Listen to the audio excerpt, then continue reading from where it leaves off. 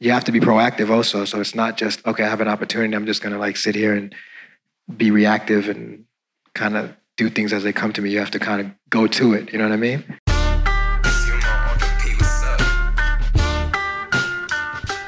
I believe everyone knows who we're sitting with right now, but just in case, we definitely got Mr. Pusha T himself. Then we got the music man over here, Steven Victor, all right, from Universal Music Group.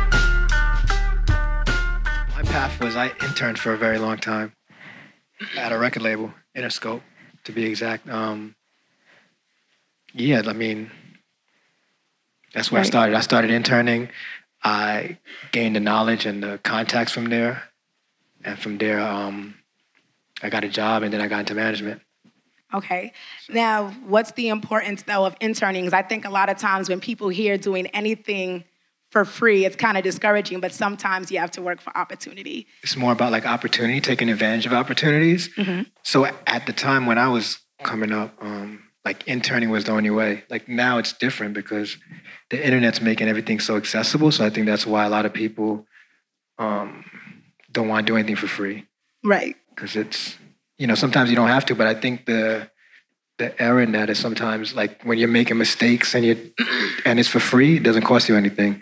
To add to that, though, um, you know, I'd like to say that the the assistant who used to work for Star Trak Records, her name was Nicole Planton, or is Nicole Planton. Um, she she noticed Steven's work ethic and put me on to Steven, and eventually, you know, that started with him, you know, being publicist for the Clipse, to manager of the Clipse, to manage managing me today. So like interning, like everybody's watching. I think I think that needs to be highlighted a lot because she definitely was like, you know, really co-signing and championing this guy.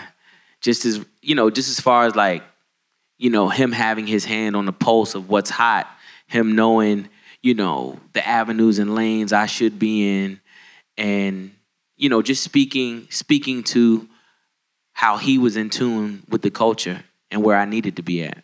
Now, I read in different spaces, for the most part, both of you kind of always knew that you wanted to have your foot in this space, this space being the industry. I read that you kind of knew since high school.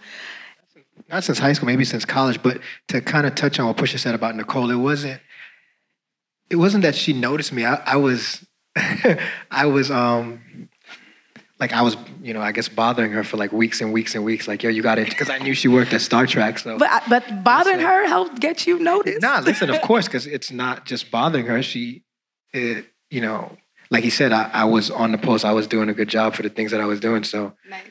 um devoso so it's not just okay i have an opportunity i'm just gonna like sit here and be reactive and kind of do things as they come to me you have to kind of go to it you know what i mean No, definitely. Um, and that's another thing too. Like you said, you have to be proactive and not be afraid to be persistent. I think that's another fear a lot of uh, you know younger people have growing up now. I think everyone's scared to look like they need something, but when you're an intern, you are needy. You need and want to get to the next level. So, do you want to touch a little bit on the importance of not being afraid to have your persistence mistaken for anything else but that?